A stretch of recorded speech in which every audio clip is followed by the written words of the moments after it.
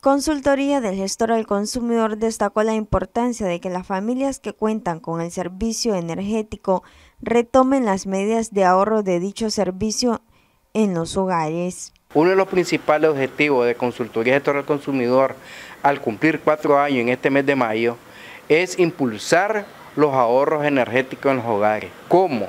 Primero, restableciendo y reparando los sistemas eléctricos dentro de la vivienda.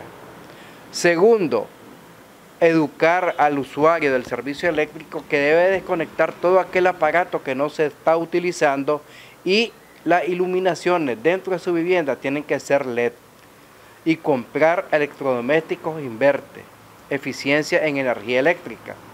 Y otro punto muy importante es que ese mantenimiento de los sistemas eléctricos nos evitan problemas de conatos de incendio y de pérdida de materiales e inclusive de pérdida de vidas humanas por descargas eléctricas. Cuando nosotros ya tenemos problemas de alteraciones de energía eléctrica o bajones inesperadas de energía o se nos recalientan los tomacorrientes y los apagadores, significa que ya la vida útil de un circuito eléctrico está por caer, por desaparecer y te puede dar problemas es necesario estar chequeando cada año los sistemas eléctricos o semestralmente para evitarnos que la factura de consumo se dispare desconsideradamente y después estamos reclamando. Arriola también destacó la importancia de evitar utilizar electrodomésticos o equipos tecnológicos cuando haya tormenta eléctrica. Debemos de retomar todas estas medidas que hemos estado mencionando en el transcurso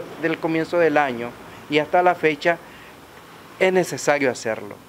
Porque de pronto se da una descarga eléctrica y si no tenemos debidamente polarizado nuestros sistemas eléctricos, se nos incendia la casa o se nos queman los aparatos electrodomésticos.